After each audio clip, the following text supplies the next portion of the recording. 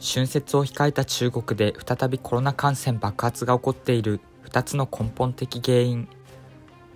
民族大移動の季節。1月22日中国は春節旧正月を迎える。14億中国人は1月1日の元日を単なる人休日としかみなしていない。春節こそが絶対的に故郷で親族と過ごすべき最重要の祝日である。中国政府の予測では今年の春節期間前後を含めた40日間延べ20億9500万人の民族大移動になる見込みだという。これはコロナ前の2019年の延べ29億8000万人の約7割にあたる。すでに7日から鉄道や航空など春運と呼ばれる春節の帰省ラッシュが始まった。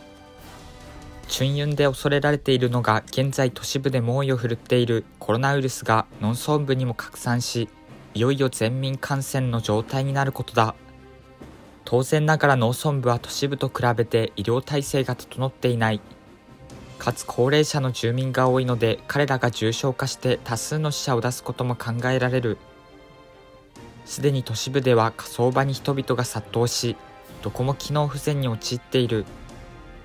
だがそれでも最悪のコロナ禍の中で春運は始まった中国でなぜ今再びコロナウイルスが猛威を振るっているのか。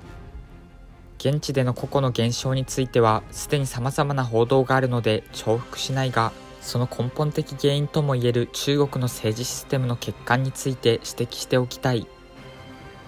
中国の政治システムには少なくとも2つの大きな欠陥がある。一つは時期的なものでもう一つは普遍的なものだ。5年に一度の空白の5ヶ月。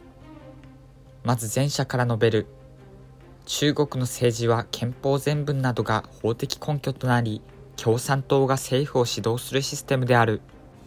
具体的には5年に一度秋に共産党大会を開催しその人事と方針に基づいて翌年3月に新政府が発足する。そして新政府が5年間行政を司っていくというものだ。ところがこのシステムを進めると5年に一度完成が生まれる。空白の数ヶ月と言ってもよい。つまり秋に共産党大会で新たな人事と方針が決まってもそれを実行していく新政府は翌年3月にならないと発足しないのだ。それまでは旧政府が継続して行っていくことになる。特に10年に一度政権が変わる時が要注意である。巨大な官僚機構から見ると新しいボスは3月にならないとやってこない。それまでは以前からのボスたちが司っているが彼らは3月には去っていく。そのため万事後ろ向きで膨大な不作為が起こるのである。つまり諸政策が停滞する。そしてそうした中から重大な危機が起こるというわけだ。一例を示そう。2002年11月に第16回共産党大会が開かれて江沢民総書記から胡錦涛総書記にバトンタッチされた。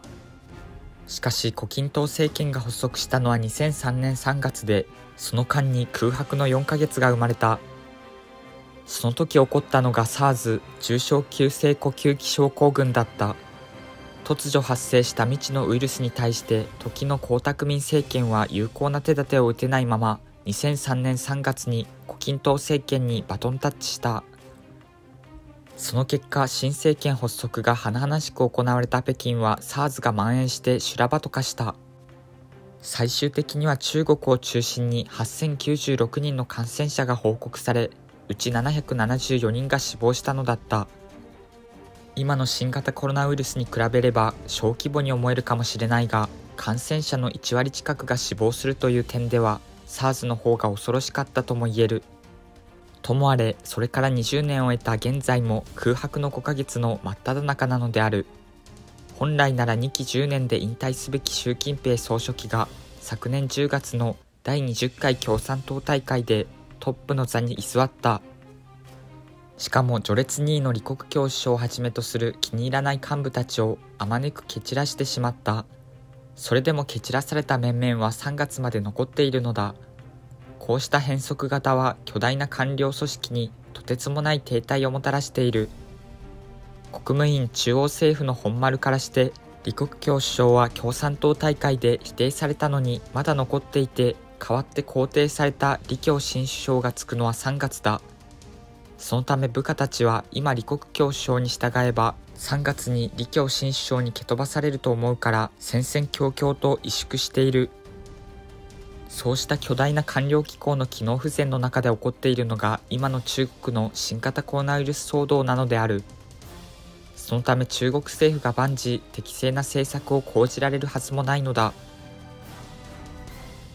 すでに14億中国人の過半数が感染。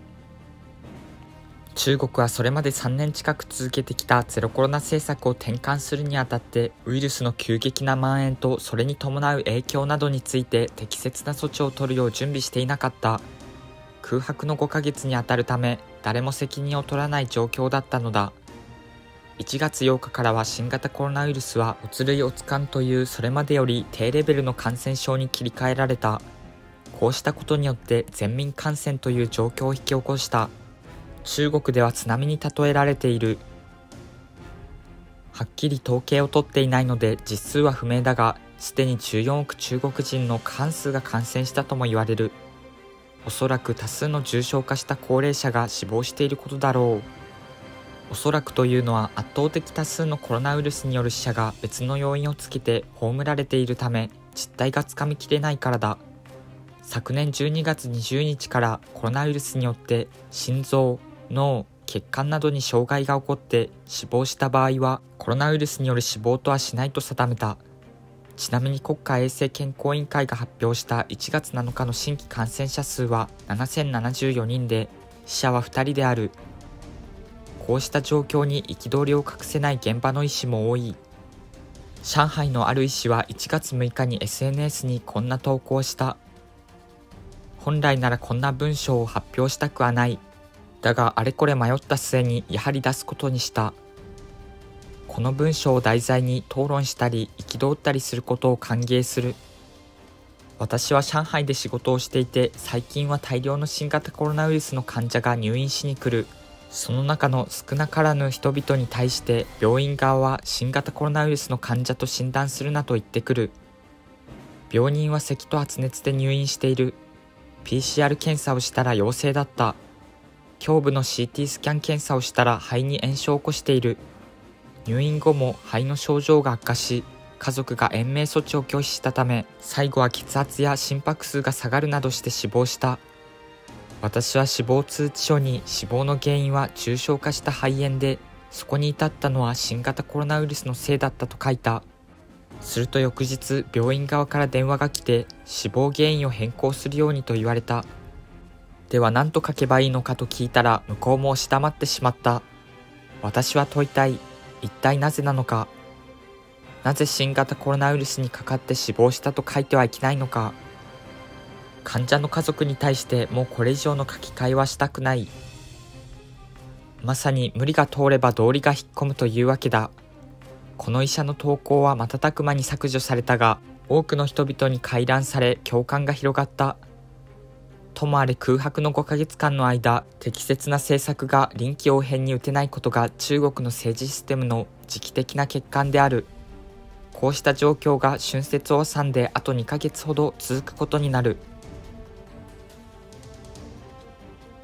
2023年世界の重大リスク第2位。もう一つの中国の政治システムの普遍的な欠陥とは先の第20回共産党大会によって習近平総書記という今年古希を迎える高齢の政治家に権力が集中してしまったことである。